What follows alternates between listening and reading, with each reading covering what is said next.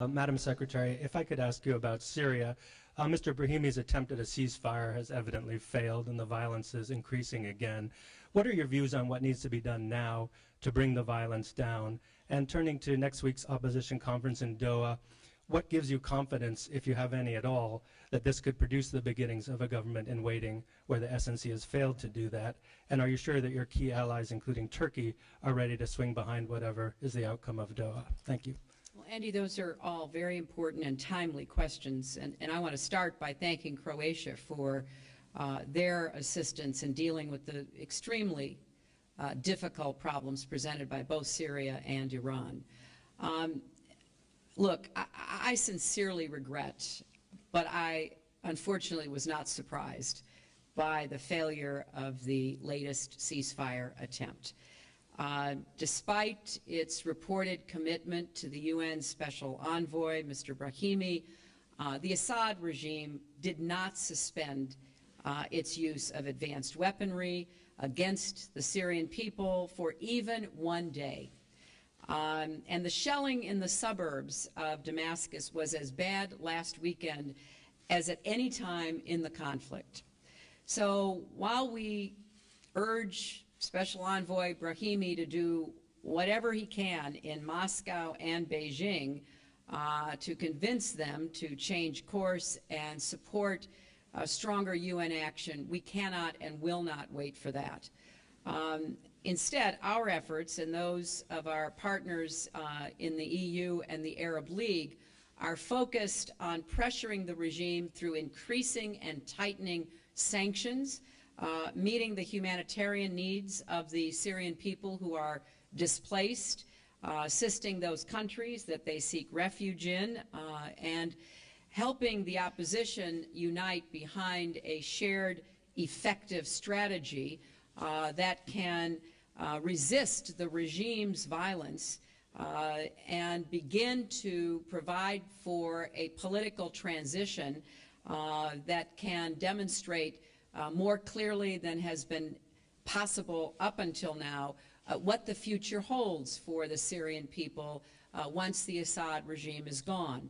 Uh, so we are working uh, very hard with uh, many different elements from the opposition, yes, inside Syria as well as outside Syria. Some of you might remember I hosted a meeting in New York during the UN General Assembly uh, we facilitated the smuggling out of a few representatives of the Syrian internal opposition uh, in order for them to uh, explain to the uh, countries gathered why they must be at the table. This cannot be an opposition represented by people who have many uh, good attributes, but have in many instances not been inside Syria for 20, 30, or 40 years. Uh, there has to be a representation of those who are on the front lines fighting and dying today uh, to obtain uh, their freedom. And there needs to be an opposition leadership structure that is dedicated to representing and protecting all Syrians. It is not uh, a, a secret that many inside Syria are worried about what comes next. They have no love lost for the Assad regime, but they worry, rightly so, about uh, the future. And so there needs to be an opposition that can speak to every segment and every uh, geographic uh, part of uh, Syria. And we also need an opposition that will be on record strongly resisting uh, the efforts by extremists to hijack uh, the Syrian revolution. Uh, there are disturbing reports of extremists going into Syria uh, and attempting to uh, take over what has been a legitimate revolution against an oppressive regime for their own purposes. Uh, so the Arab League sponsored meetings starting in Doha next week will be an important next step. I have been uh, constantly involved with my counterparts, both in the EU and uh, in the Arab League, in particular uh, with the hosts of the meeting next week uh, in Qatar.